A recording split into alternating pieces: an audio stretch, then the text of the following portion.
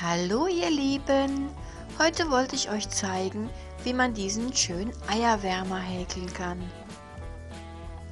Ich habe ihn in Sockenwolle gehäkelt mit drei Fäden gleichzeitig und mit einer Häkelnadel Nummer 3.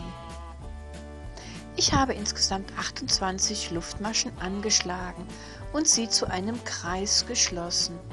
Man kann es dann um das Ei legen, um zu schauen, ob die Größe passt.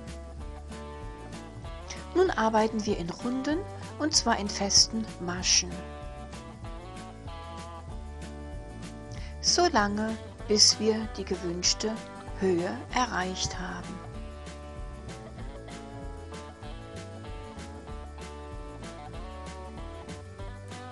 Mein Eierwärmer hat nun die Größe von 8,5 cm und das reicht. Nun drücken wir das Ganze flach und häkeln es einfach oben zusammen. Das heißt, wir müssen vorne und hinten einstechen und machen eine Reihe feste Maschen. Wenn wir am Ende angelangt sind, schneiden wir den Faden ab und holen ihn durch die Schlaufe und ziehen es fest an. Anschließend den Faden vernähen. Nun kommen die Augen dran. Ich habe dafür vier Luftmaschen angeschlagen, sie zu einem Kreis geschlossen und in den Kreis insgesamt zwölf feste Maschen gehäkelt. Nun arbeiten wir in Runden weiter. Darauf ist zu achten, dass man jede zweite Masche verdoppelt. Das heißt, in jedem zweiten Loch wird zweimal eine feste Masche hineingearbeitet zwei Runden insgesamt so darüber häkeln. Den Faden großzügig abschneiden, damit man ihn nachher noch hat, für auf die Eule zu nähen. Als Pupillen habe ich zwei weiße Perlen gewählt. Man kann aber auch zwei Knöpfe verwenden, in schwarz zum Beispiel.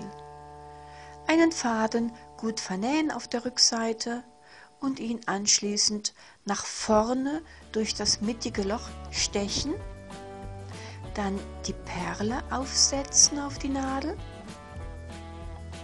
sie durchziehen, die Nadel, und anschließend die Nadel wieder von vorne in dasselbe Loch hineinstechen auf die Rückseite. Stramm anziehen und auf der Rückseite alles gut vernähen. Genauso verfahren wir auch mit dem zweiten Auge. Nun werden die Augen auf die Eule genäht.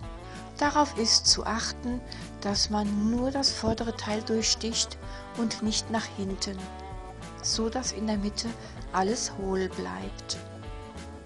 Jetzt fehlt noch der Schnabel, den man in Gelb oder Orange aufsticken kann. Ich habe erst die Umrisse aufgestickt und dann das Innere ausgefüllt. Nun kommen noch die Ohren. Ich habe den Faden wieder doppelt genommen und ihn um meine Hand gewickelt. Viermal reicht.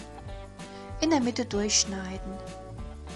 Dann nehmen wir die Häkelnadel und stechen sie durch eine Ecke oben an dem Ohr. Nun legen wir die Fäden um die Nadel und ziehen die Nadel etwas durch, dass eine Schlinge entsteht.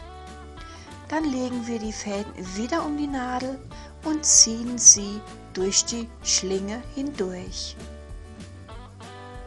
Anschließend stramm festziehen. Mit dem zweiten Ohr verfahren wir genauso. Dann brauchen wir die Pinselohren nur noch in der gewünschten Länge abzuschneiden. Und damit ist unser Eierwärmer fertig. Und da ein Frühstück immer zu zweit schöner ist als allein, habe ich auch noch eine zweite Eule gemacht. Ich bedanke mich fürs Zuschauen, wünsche euch viel Spaß beim Nachmachen. Bis zum nächsten Video. Eure Jule.